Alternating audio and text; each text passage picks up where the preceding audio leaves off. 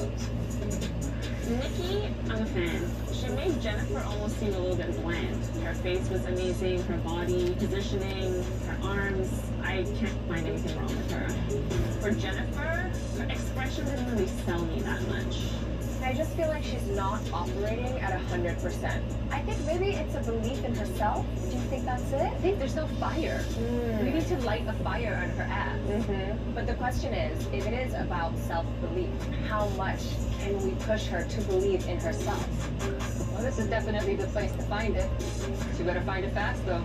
Moving on. Oh, Cassandra and Wee uh, uh, uh, uh, uh.